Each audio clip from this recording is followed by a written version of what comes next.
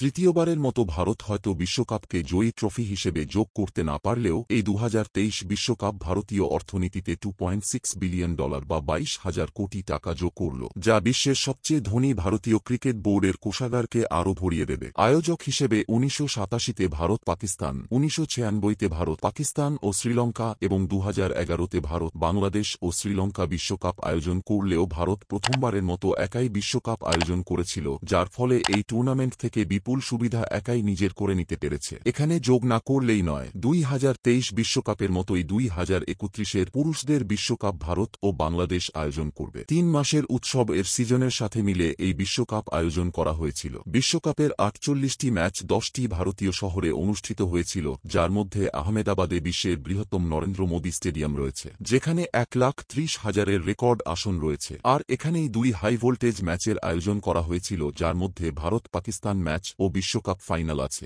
সমীক্ষা অনুসারে দু হাজার ইংল্যান্ড বিশ্বকাপ থেকে ব্রিটিশরা তাদের অর্থনীতির জন্য তিনশো পঞ্চাশ মিলিয়ন মার্কিন ডলার আয় করেছিল। আশা করা যায় এখনও পর্যন্ত অনুষ্ঠিত শেষ বারোটি বিশ্বকাপের আয়কে রেকর্ড অঙ্কে ছাপিয়ে গেছে এবারের বিশ্বকাপ। বাইশ হাজার কোটি টাকা আয়ের মধ্যে শুধুমাত্র টিভি রাইট ও স্পন্সরশিপ মিলিয়ে ঘরে আসবে বারো হাজার কোটি টাকা। টেলিভিশনে দেখানো বিজ্ঞাপনের মূল্য ছিল প্রতি সেকেন্ডে তিন লাখ টাকা, অর্থাৎ দশ সেকেন্ডের একটি বিজ্ঞাপনের জন্য ত্রিশ লাখ টাকা পর্যন্ত চার্জ করা হয়েছিল, যা গত বিশ্বকাপে তুলনায় চল্লিশ শতাংশ বেশি। Coca Cola Emirates, Nissan, Hindustan Unilever ছাড়াও এশিয়া, ইউরোপ ও আমেরিকার বিভিন্ন কোম্পানি ছিল এই বিশ্বকাপের স্পন্সরের তালিকায়। বড় ক্রিকেট টুর্নামেন্ট থেকে টিকিট বিক্রি, হোটেল, রেস্তোরাঁ এবং খাবার ডেলিভারির উপর ট্যাক্স কালেকশন সরকারি কোষাগারকে আরও সহায়তা করবে আর্থিক অবস্থা মজবুত করতে। বিশ্বকাপের প্রথম দিকের ম্যাচগুলোতে বিপুল সংখ্যক দর্শক না হলেও টুর্নামেন্ট যত এগিয়েছে মানুষ তত মাঠে ভিড় করতে থাকে, ফলে টিকিটের চাহিদাও বেড়ে গেছে। শুধুমাত্র টিকিট থেকেই আয় হয়েছে বাইশশো কোটি টাকা। বিশ্বকাপের দশটি দল সহ